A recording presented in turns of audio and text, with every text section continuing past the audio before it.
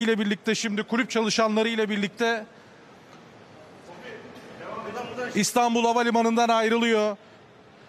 Vida'nın ayrılışının ardından Beşiktaş'ın üçlü savunmasında Valerian İsmail'in belki de geldiği günden bu yana en fazla istediği ve ilk yapılması talebinde bulunduğu transferlerden biri. Şu an yüzü gülüyor ailesiyle birlikte. Kameraman arkadaşım Ege'den rica edeyim. Aman dikkat edelim. Aman dikkat edelim. Ve artık bir sonraki araba, bir sonraki araba.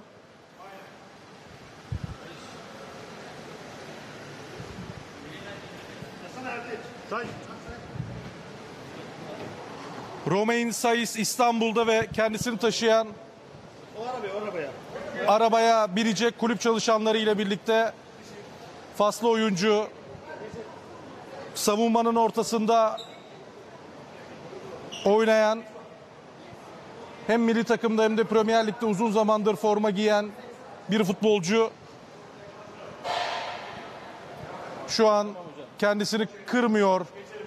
Taraftarlar burada denk gelen Beşiktaşlılar ve kendisini taşıyan kulüp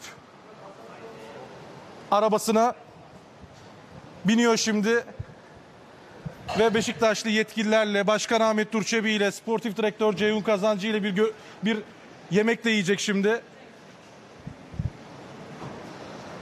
Sağ olsun burada Beşiktaşlı taraftarlar denk geldi ve hatıra fotoğrafı İstanbul'daki ilk fotoğraflardan birkaçı çekildi.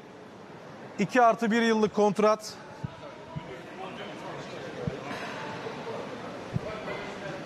Ve işte o Beşiktaş taraftarının direkt anlayabileceği kartal pozu, kartal işaretini de yaptı. Ve Romain Saiz Beşiktaş'ta günler öncesinde A-Spor ekranlarında duyurduğumuz bir gelişmeydi. 2 artı 1 yıllık kontratı imzalandı. Şimdi valizleri de arabaya yerleştiriliyor. Bir not arabalarda değişmiş. Sponsor arabalar Beşiktaş'ta. Ailesiyle birlikte şimdi otele gidecek ardından yetkililerle bir araya gelecek.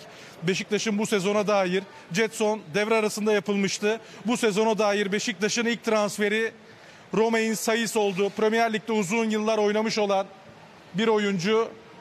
Defalarca belki bugün ifade ettik. Zaman zaman güldüğünü, Beşiktaş'a transfer olduğundan dolayı mutlu olduğunu çok rahat bir şekilde anlayabildiğimiz bir oyuncu. En azından aldığımız bilgiler doğrultusunda da üçlü savunmanın ortasında forma giyecek bir futbolcu Romain Saiz ve bu takviyenin ardından da Beşiktaş'ın ilerleyen günlerde sol stopere de yerli bir oyuncu takviyesi yapacağını bekliyoruz ve tabii ki belki de 48 saat içerisinde Beşiktaşlara Ege böyle gelelim istersen araba da geliyor. Çok teşekkür ederim. Ee, belki de 48 saat sonra Vegors'un durumu belli olacak. Sıcak bir gelişme yarın akşam üstünde Beşiktaş Kulübü yetkilileri Vegors, Vegors'un ailesi ve menajeri bir araya gelecek ve belki de son bir transfer toplantısı, transfer görüşmesi yapılacak. O transfer görüşmesinde yarın olumlu sonuçlanması durumunda Vegors ve ailesi İstanbul'a davet edilecek. Olumsuz sonuçlanması durumunda Beşiktaş başka adaylara yönelecek.